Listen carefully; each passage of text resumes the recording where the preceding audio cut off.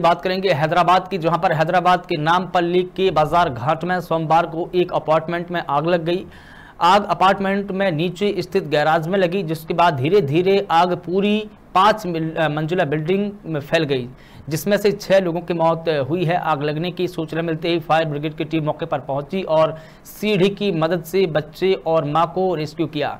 आग की लपटें इतनी तेज थी कि अपार्टमेंट में ऊपर रहने वाले कुछ लोग बाहर ही नहीं निकल पाए। हैदराबाद सेंट्रल जोन के डीसीपी वेंकटेश्वर राव ने बताया कि ग्राउंड फ्लोर पर गैराज में एक कार रिपेयरिंग का काम चल रहा था। तभी एक चिंगारी गोदाम में रखे रासायनिक वैरल तक जागरी और आग लग गई। हादसे में तीन लोग घायल भी बताए जा रहे हैं।